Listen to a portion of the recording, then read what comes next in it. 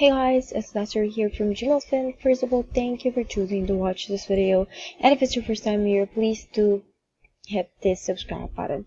Okay, so for today's video, I'll be showing you guys on how you can set priority emails to the top of your Gmail inbox. Okay, so first first just go to the settings, um, the seal settings, then go straight to the inbox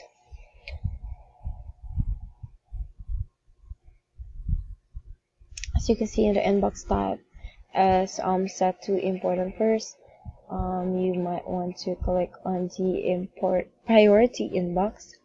Then as you can see it will give you options on the important and urgent message. Um, some are for starting messages the empty and everything else um, for the last. Um, you can set it in there the sort and etc then don't forget to click on the save changes and um, after that you are now all set up and as you can see all the um, priority emails will be set to the top of your inbox here on Gmail. And that's it. That's how you'll be able to set priority emails set up your inbox. And I hope you guys did learn something. And if you did enjoy this video, please smash the like button down below.